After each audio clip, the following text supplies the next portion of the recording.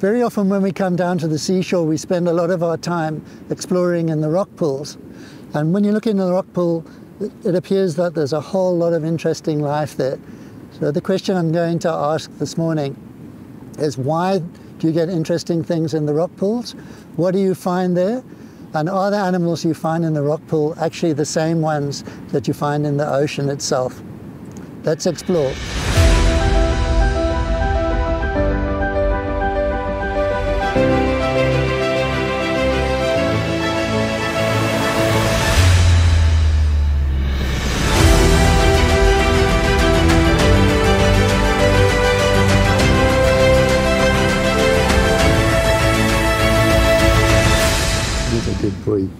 So when you come down onto the seashore, you'll often notice that the rock pools appear to have different animals and different seaweeds in them than the open rock. And the reason for that, of course, is that the rock pool is still wet. The animals in the rock pool are still submerged in the water. And this allows a whole lot of other more delicate organisms to survive.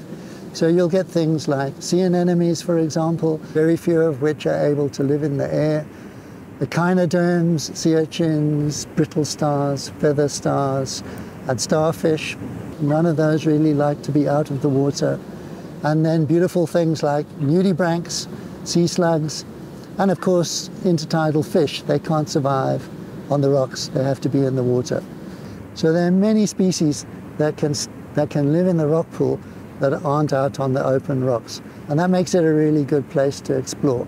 So all of these animals would die if they were out the water. They're basically just going into the rock pools because they need to stay wet. Yes, there's only a select group, group of animals, things that have shells, for example, like barnacles or limpets or mussels, that can survive extended periods out of the water. So animals that have soft bodies really need to be in the water almost all the time. And that's why you'll find such a diversity of soft-bodied animals in the pools. So these rock pools are like a little oasis for the animals. Yes, many people think that of the rock pool as being a little aquarium that represents the same conditions that you get in the ocean.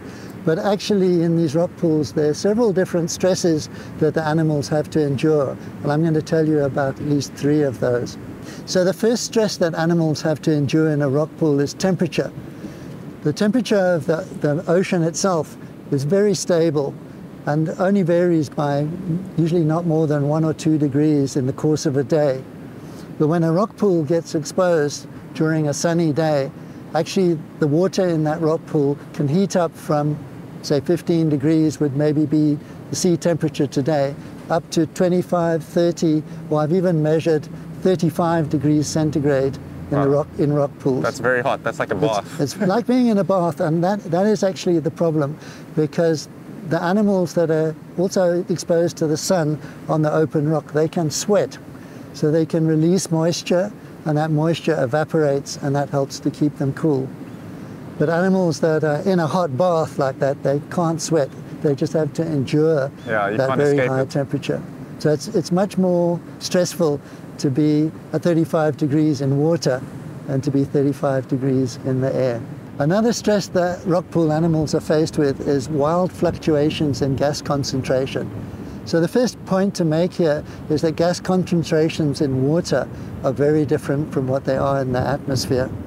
In the atmosphere, the whole atmosphere is made out of gas, so they're very high oxygen concentrations. So there's 20% oxygen or 200 milliliters per liter of oxygen. But in water, most of the space is occupied by water molecules, so there isn't a lot of space for gas molecules. And the concentration of oxygen in water that's fully saturated with air is only about 10 milliliters per liter. So it's only about 5% of the concentration in the air. So already the animals are existing in a low oxygen environment. But then what happens at night, the rock pool is also full of algae and it's full of animals. And those algae and those animals are both respiring. So they're turning that oxygen into carbon dioxide. And if the pool is exposed in the middle of the night for several hours, they can drive down that oxygen concentration from 10 milliliters per liter to as little as one milliliter per liter. And some species will just die under those conditions. fish, They've basically got nothing to breathe, right? They've got nothing to breathe, exactly.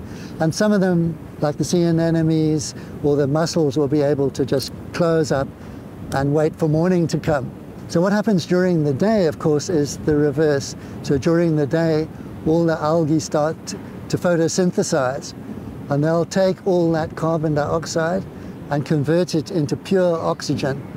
And that oxygen, you can actually often see it bubbling off the algae. So that is not air, it's pure oxygen. And it actually displaces the nitrogen that's dissolved in the water with pure oxygen. So the oxygen concentration can actually rise to double or more the normal saturation level. With high levels of oxygen like that, don't the animals, I mean, humans get a little bit crazy, don't we? it's Yes. quite toxic. It, it can virtually get to the toxic level. Actually, it never gets to a totally toxic level because at some point, then all the nitrogen has been displaced and replaced by oxygen. And uh, that's, that happens at about 200% oxygen saturation or 20 milliliters per liter. So they can just survive. They can just survive that.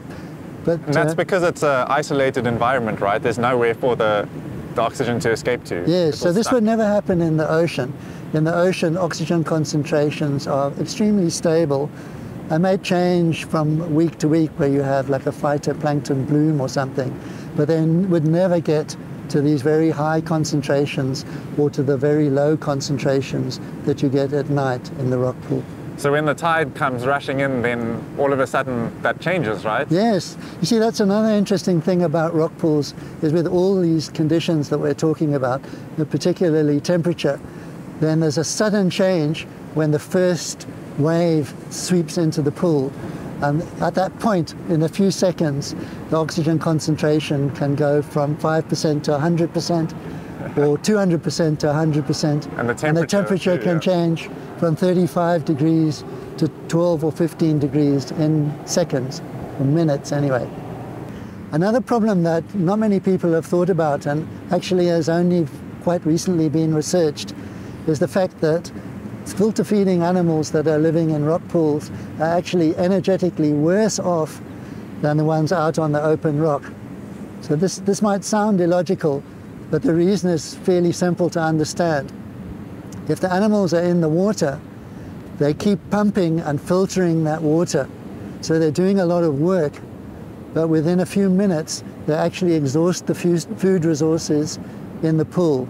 So they filter the pool perfectly clear and clean. So for the next few hours, they go on working and pumping and trying to feed, but they're getting nothing for it. So they're burning a lot of energy and getting no energy input.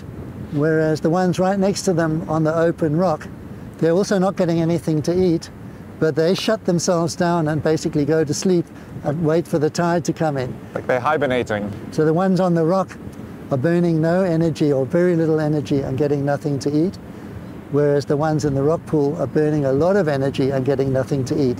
So they're actually worse off. And actually, if you look at this, these particular pools on this bit of rock here, the open rock is completely covered in mussels, and the rock pools are completely devoid of mussels. So in these rock pools, the mussels have been unable to survive in the water because they're just not getting enough to eat. The energy balance is out of kilter. They're burning too much energy relative what, to what they can get. So rock pools are still a great place to explore, but the higher up the shore the rock pool is, and the smaller the rock pool is, the more of the stresses that I've been describing are experienced by the animals in that pool, and the fewer delicate species you're going to find there. So the thing to do is to find big rock pools, find rock pools that are lower on the shore, and preferably get your mask and snorkel on and get in there, and then you're going to find some really cool stuff.